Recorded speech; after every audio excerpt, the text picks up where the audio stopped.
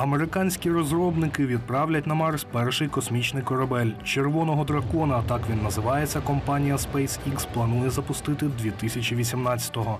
Людей в апараті не буде, ним керуватимуть на відстані. Кількамісячний політ може зашкодити землянам, пояснюють у компанії. Головна ж мета з'ясувати, чи може корабель доправити на Марс вантажі для майбутньої колонізації. SpaceX – комерційна компанія, яку заснував колишній власник платіжної системи PayPal і головний виконавчий директор Тесли Ілон Маск.